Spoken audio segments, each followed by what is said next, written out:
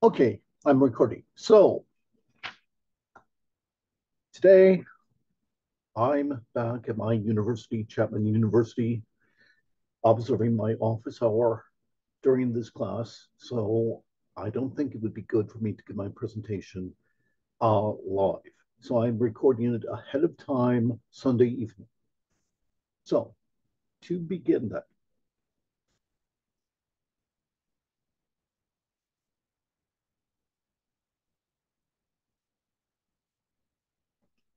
Okay, so what I'm going to address today in our class on women and witchcraft is the motif of witchcraft in the works of the author Neil Gaiman.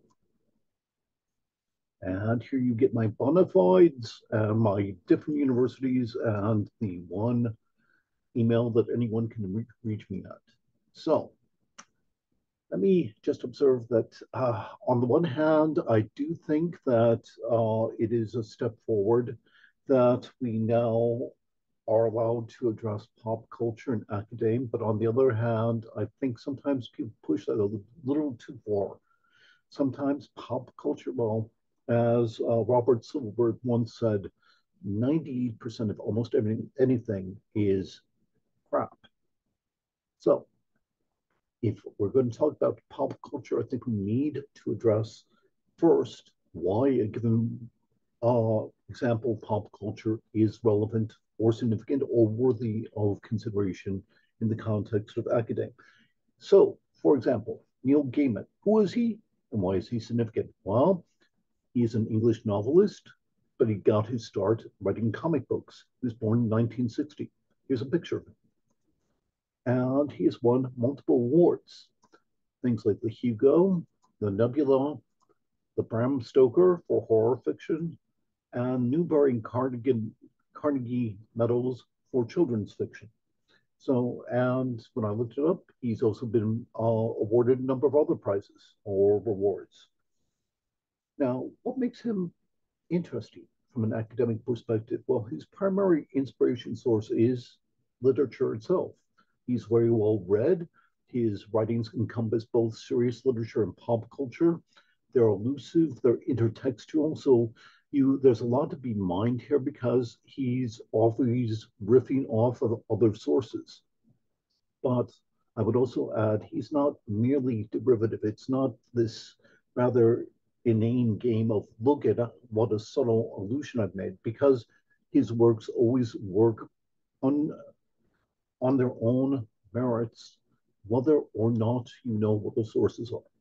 Also, so he, also he will often com combine a number of different sources that he's riffing on, and he will often set out to subvert those sources. So, for example, one of his more famous stories is I Cthulhu, which is a Lovecraft horror story told from the perspective of Cthulhu, the monster. Um, a study in Emerald, really fascinating, available for free download. Cthulhu meets Sherlock Holmes. The case of the 4 and 20 Blackbirds is a hard boiled detective story where the hard boiled detective is interviewing fairy tale people. Snow, glass, apples. I think this is one of the most intriguing ones and relevant to the theme of our class. In this story, Snow White is Snow White because she's a vampire. The evil queen is a witch, but she's campaigning against Snow White because she's trying to preserve her kingdom. So he takes established tropes, but he often undermines or subverts them or reinterprets them. So let me give you an example of how he examines witchcraft in his stories and what standard tropes he buys into. Now, we haven't talked in this class so far about the notion of the tripartite goddess, which is to say, um, the goddess Hecate in amongst the ancient Greeks, sometimes referred to as she was three, the maiden, uh, maiden, matron, and crone. But also we have the motifs of the Greek understanding of the witch, the Roman understanding of the witch, the wise woman witch, and finally, uh, the notion of a devil worshipping witch or the kind of witches that were being attacked at so called during the witch trials. So I think we can find all five of these themes in one or another of his stories. So, for example, one of his more popular stories was actually made into a movie. It was called Stardust. And there's a character called Lamia, and she's one of three crones. You can see her in the middle there, played by Michelle Pfeiffer. But in the course of the story, she's the major antagonist. She gets her other two um, companions to give her some of their magic so she can restore her youth temporarily in order to pursue a quest that will result in the death of one of the protag- of the protagonists of the story, but will restore their uh, the health and beauty and youth of all three of them. At which point she becomes more the Greek understanding of the witch, beautiful, but also intimidating and to be feared. He's one of his major works was The Sandman. It was a series of comic books. And one of his major motifs was the notion of she who is three, which is to say, his worth on Hecate, the tripartite goddess, maiden, matron, and crone. Here portrayed in the TV series but also found in a comic book series. Um, so in The Sandman, uh, the uh, motif is the goddess of witches who are three persons in one person. Yeah, um, the ancient Greeks came up with that concept long, long before Christianity. A third one, which was a collaboration that he wrote with the novelist Terry Pratchett, who I will be talking about in my next uh, presentation. Um, he wrote a novel with Terry Pratchett called Good Omens, and then one of the pivotal characters in Good Omens is Agnes Nutter. Now, the novel plays very amusingly with the concept of predestination. Agnes Nutter is an actual prophet. She anticipates the future. In fact, she goes so far as to anticipate when she's going to be burned at the stake as the last witch executed in England. And she does that. She hides some um, gunpowder and nails under her skirt. So when they put her on the stake to burn her to death, she also takes down all the people that are setting out to do so. Um, also, she's portrayed as being the uh, uh, kind of a midwife and a healer. My kind of woman. Finally, uh, one last one, and actually my favorite. This is the character Thessaly. She also appears in Sandman, uh, in a volume called Game of You, and also she was spun off into her own miniseries called The Sandman Presents the Thessaliad, and she is portrayed as being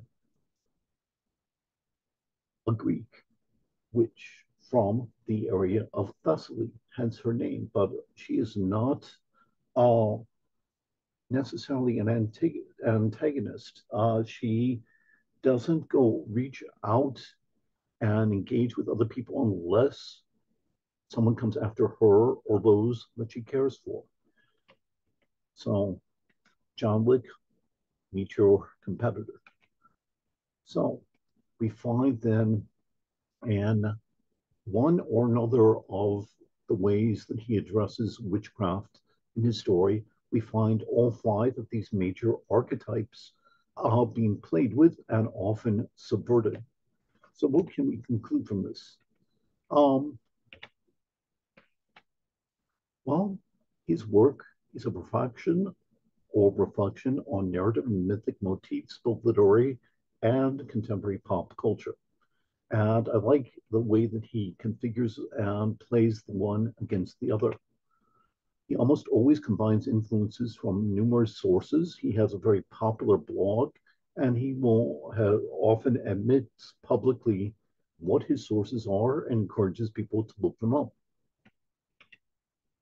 and he usually provides a distinctive reflection or spin on the material. I like the fact that he will take a mythic motif, but then he will often undermine or subvert it.